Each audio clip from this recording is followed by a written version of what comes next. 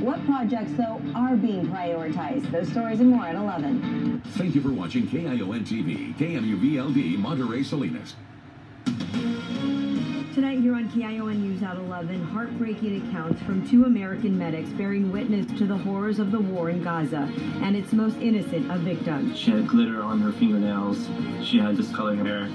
These things, like these things, um, it, it, it, it really affects you because. And here on the Central Coast, two decades later, after being on the run for so long, I think the court showed him a great deal of mercy today. The man who killed a woman in Salinas has finally been sentenced. And on the Central Coast, there's light at the end of the tunnel after a week of gray skies. Chief Meteorologist Dan Cianca has your weather forecast as we approach the weekend.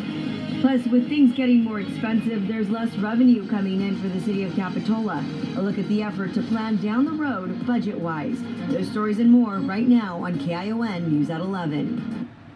Covering the Central Coast, this is KION News Channel 46 at 11 o'clock. Tonight here on KION News at 11, we start with the war in Gaza, floating pier built by the U.S. military, now in place and ready to help provide desperately needed aid to the people of Gaza. And tonight we're hearing heartbreaking accounts from two American medics, a warning the images here are hard to watch. CBS's Imtiaz Tyab reports.